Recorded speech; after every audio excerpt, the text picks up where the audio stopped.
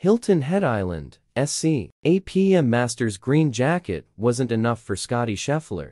Scheffler was running on emotional fumes, fresh off his first shot victory at Augusta National. But full of purpose. That more than made up for his lack of preparation for the RBC Heritage. The result not only was similar, it has come to be expected. He rarely missed a shot. He gave little hope to those chasing him. And he walked away from Harbour Town on Monday morning with another victory. That extended a dominance not seen since the peak years of Tiger Woods. I didn't show up here just to have some sort of ceremony and have people tell me congratulations. I came here with a purpose, Scheffler said after polishing off a 3 under 68 for a three-shot victory. Victory was inevitable. Scheffler had a five-shot lead with three holes to play when the final round. Delayed two and a half hours because of storm Sunday afternoon, was suspended by darkness.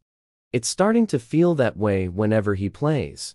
Scheffler now has won four of his last five starts, the exception a runner-up finish in the Houston Open when he misread a five-foot birdie putt that would have forced a playoff. He considered this one of the tougher wins because it followed the Masters. Coming off the high last week to going into here, not really with a ton of energy, not really with a ton of prep work, Scheffler said. I think it's underrated how difficult it is to do the stuff that Tiger was doing and win like every single week. It takes a lot out of you emotionally and physically, especially major championships. Turns out he had plenty left in the tank. Scheffler now has 40 consecutive rounds at par or better, a streak that began at East Lake in the Tour Championship last August. His position at no. 1 in the world is so great that he became the first player since Woods to crack the 15-point average mark. It's very impressive, Patrick Cantlay said. He's played great for a while now, a number of years, and it seems like he is playing the best golf of his life right now. The only competition Monday morning was for second place. The storms brought cold weather and a strong wind.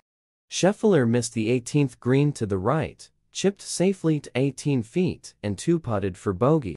That ended his streak of 68 consecutive holes with no worse than a par. I hit driver, three wood into there, Scheffler said.